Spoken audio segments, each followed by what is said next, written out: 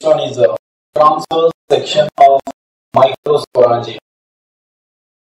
So here, transverse section, transverse section, the microsporangium or anther that is uh, circular in outline, right?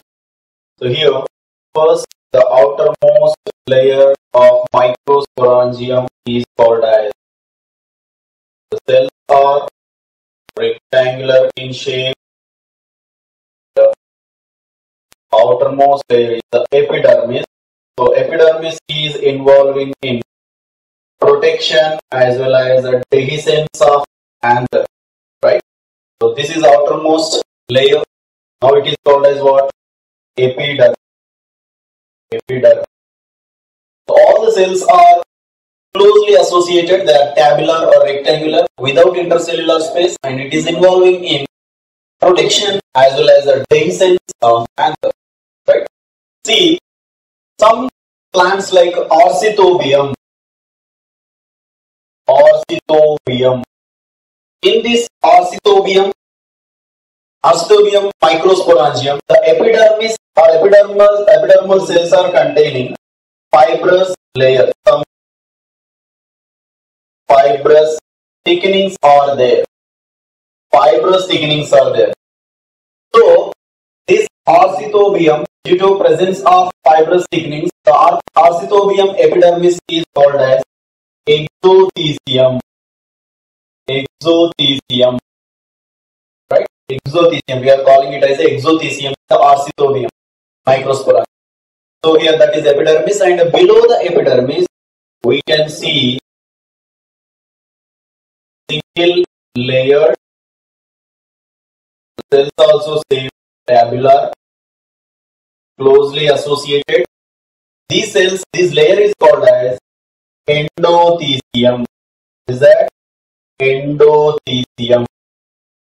Now, endothecium also involving in protection as well as a dehiscence of anther. So here, endothecium cells are containing alpha cellulosic fibers. Alpha cellulosic fibers. Which one? Endothecium. So these alpha cellulosic fibers are hygroscopic in nature. In the maturity, what happens? The alpha cellulosic fibers will lose water and here the microsporangium will be open. That means the uh, dehiscence. So dehiscence of anther or microsporangium can be done with the help of uh, endothecium because they are containing alpha cellulosic fibers. Alpha cellulosic fibers. So that the endothecium it is also called as fibrous layer. Endothecium also called as fibrous layer, right? And below the endothecium, we can see one, two, three layers. One, two, three layers. Now, the layers are called as what? Middle layers. What are they? Middle layers. So here, one, two, three layers. They are called as what? Middle layers. So middle layers are present. Now middle layers are they are not permanent, so that they are also called as a ephemeral. Ephemeral. So middle layers are not permanent. That means in the maturity they will be degenerated. So that the middle layers are called as ephemeral or they will be shrivel shrivel at maturity. That means degraded in the maturity. Shrivel or ephemeral, right? And next one, below the middle layers. So middle layers also involving in what? Involving in uh, protection plus dehiscence of anther. Which one? This uh, middle layers. So below the middle layers, we can see the cells. The cells are called as the layer is called as the tapetum cells. What is that? Tapetum cells. So these tapetum cells are having more than one nuclei. More than one nuclei. This is a tapetum cell. Now what is the function of this tapetum? So generally it surrounds the sporogenous tissue which is present in the center, homogeneous layer that is the sporogenous tissue and this tapetum is involving in the nourishment to the developing pollen grains or microspores. See tapetum, when we see the tapetum it is of two types. One is amoeboid tapetum. amoeboid tapetum and second one is secretory tapetum. So amoeboid tapetum, what it will do? Generally this amoeboid tapetum is involving in the nourishment. Involving in the nourishment. Use the nutrients to the developing pollen grain, right? And secretory tapetum, it secretes the substances. So what type of substances can be secreted from secretory tapetum? First one is they produce lipid rich lipid rich granules. They are called as Ubisch granules. Ubisch granules are produced. So these Ubisch granules are lipid rich and they are made up of sporopollenin. They contain sporopollenin. So sporopollenin is one of the hardest or toughest material in the nature. No enzyme will degrade The sporopollenin is involving in the formation of exine of pollen grain. Exine of pollen grain will be made by sporopollenin so that the pollen grains can be preserved as a microfossils. It cannot be destroyed, right?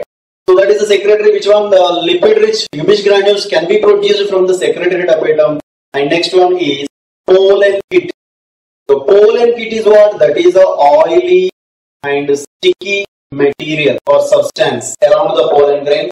It's called as a pollenkitt. It is made up of chemically that is a lipid plus plus carotenoids. So lipids, carotenoids. So the chemical nature of pollenkitt is what? That is oily and it is a lipid and carotenoid made up of lipid and carotenoid. So this pollenkitt is involving in the pollination. How? In the entomophilous plant, if pollen surface, pollen grain surface is sticky, then easily they can be stuck to the uh, pollinators, right?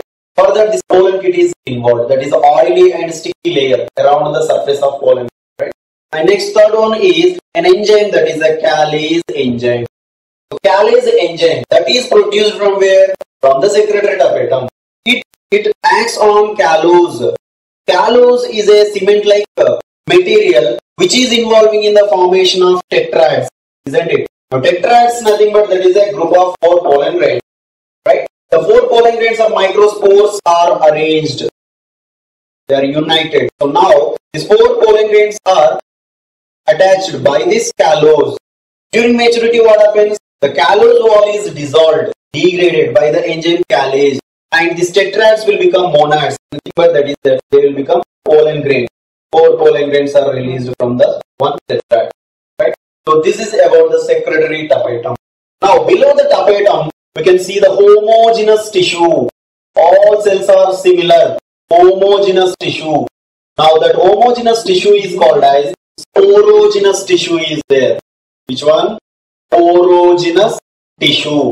Now sporogenous tissue is a homogeneous tissue which is surrounded by tapetum, right? And this sporogenous tissue, what is the function of this sporogenous tissue? It is involving in the formation of microspore mother cell. So here primary sporogenous sporogenous tissue, primary sporogenous tissue, right? This primary sporogenous tissue is forming sporogenous tissue now this sporogenous tissue is differentiated into MMC, that is what? Microspore mother cell.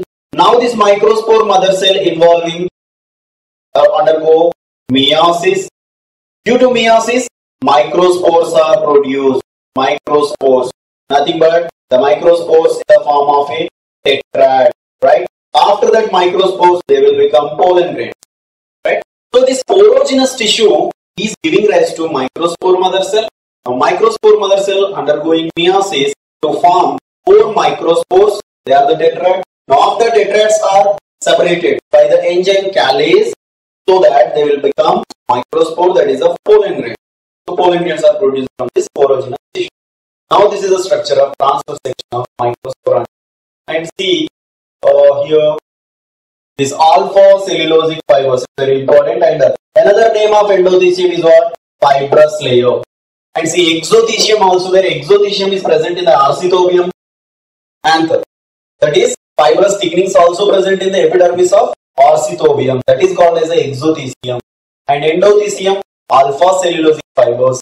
And ephemeral or shrivel.